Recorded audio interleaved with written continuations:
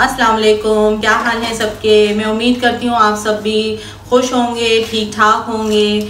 और आज मैं दोबारा से एक और नई रेसिपी के साथ आप लोगों के पास हाजिर हुई हूँ। रबी का कोई रेसिपी में आज मैं बना रही हूँ, खड़े मसाले का कीमा। उम्मीद करती हूँ कि आपको मेरी रेसिपी पसंद आएगी। चलें जी, हम अपनी रेसिपी स्टार्ट करते हैं।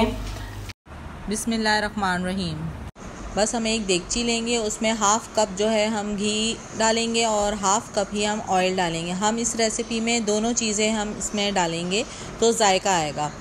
इसमें अब देखें हमने हाफ़ कप तेल भी डाल दिया है। तेल डालने के बाद हमने दो बड़ी मीडियम प्याज को रफली चॉप कर लिया है।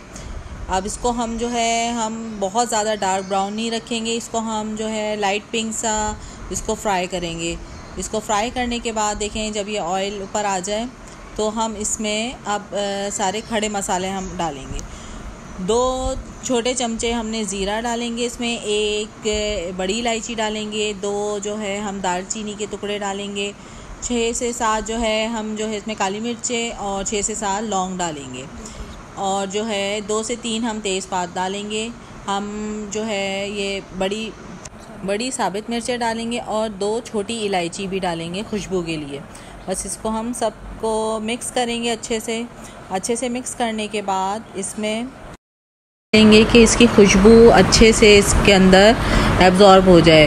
फिर इसमें हम जो है, तीन चमचे अदरक लहसन का पेस्ट ऐड करेंगे। वैसे तो इसमें जो है, कुटा जो है, अदरक और लहसन डलता है, मगर मेरे बच्चों को पसंद नहीं है तो मैंने इसमें लहसन अदरक का पेस्ट ऐड करा है। आप जो है ऑप्शनल है, जो भी आप कुटा डाल सकें तो आप कुटा, कूट के डाल दीजिए। बस इसको अच्छे से मिक्स करेंगे। मिक्स करने के बाद इसमें हमने 500 ग्राम बछिया का कीमा लिया है और जो ये बहुत अच्छे से जल्दी गल जाता है। हम कीमा डालने के बाद इसको अच्छे से भुनाई करेंगे। जब तक इसका रेड से वाइट कलर ना हो जाए, इसको पाँच पाँच मिनट तक इसकी भुनाई करने के बाद अब हम इस स्टेप पे हम टू टीस्पून हमने जो है नमक डाला है। और नमक डालने के बाद बस मिक्स करेंगे इसको अच्छे से कि इसमें कीमे में जो है सारा नमक का टेस्ट आ जाए। बस हम इसको अच्छे से भुनाई करेंगे और ज़्यादा भुनाई करेंगे कि कीमा अपना थोड़ा थोड़ा पानी छोड़ दे। जब पानी छोड़ने लगेगा तो इसका मतलब कि हमारी भुनाई अच्छे से हो गई है। अब हम इसमें, अब इस स्टेप के बाद हम टमाटर डालेंगे। हमने दो बड़े टमाटर रफली चॉप कर दिए इसको भी हम टमाटरों को अच्छे से भूनेंगे और भुनाई करने के बाद इसमें आप सात से आठ जो है साबित मिर्चें हम डाल देंगे। और जो है इसको साबित मिर्चें इसी में भुनाई करने से इसमें इसके फ्लेवर आ जाएगा। अब हम जो है हाफ़ टी स्पून हल्दी ऐड करेंगे और हाफ़ टी स्पून कश्मीरी लाल मिर्च।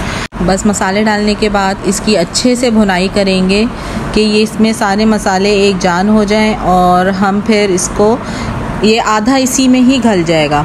बस इसको हम अब ढक के पाँच मिनट तक पकाएँगे। अब खड़े मसाले के लिए हम जो है खड़ा मसाला तैयार करेंगे, जिसमें हमने टू टीस्पून जो है हमने साबित धनिया लिया है और वन टीस्पून भर कर हमने सौंफ ली है और छः पाँच, छः जो है काली मिर्चें ली हैं। अब इसको हम जो है मोटा मोटा ग्राइंड कर लेंगे कि बहुत ज़्यादा बारीक नहीं पीसना हमें, इसको मोटा मोटा रखना है, क्योंकि हम कुटा बना रहे हैं। बस इसको हम मिक्सी में डाल कर इसको ग्राइंड कर लेंगे अच्छे से।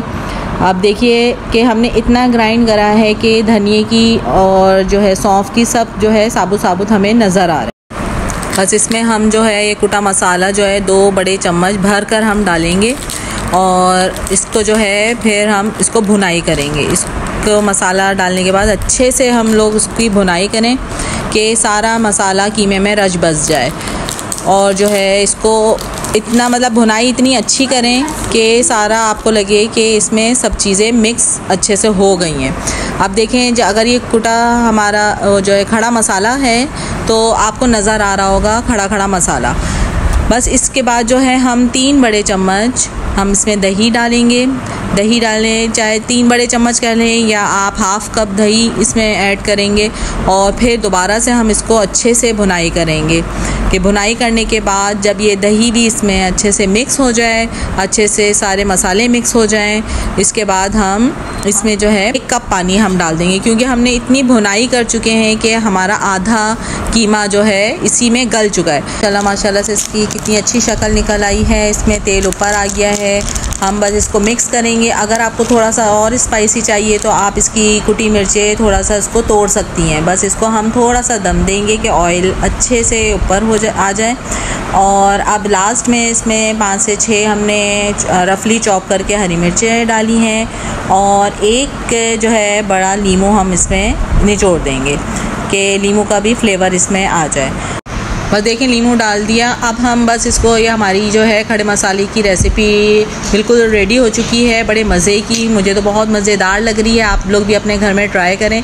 बस हम इसको अब डिश आउट करेंगे। इसमें हम गार्निश के लिए हरा धनिया, अदरक, हरी मिर्चें और लीमू के साथ आप इंजॉय करें। बस हमारा खड़े मसाले का कीमा तैयार है। चलें जी, ये हमारा मज़ेदार सा जो है खड़े मसाले का कीमा रेडी हो गया है। आप प्लीज़ इसको जो है अपने घर में बनाएँ ज़रूर और मुझे कमेंट बॉक्स में बताइएगा कि कैसा बनाएँ।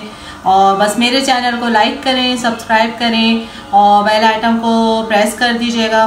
और जो है बस, आप जो है मज़े मज़े की रेसिपीज़ आप मेरे चैनल पे आप देखते रहेंगे। इन अब मुलाकात होगी नेक्स्ट रेसिपी के साथ। अपना खूब सारा ख्याल रखिएगा। अल्लाह हाफिज़।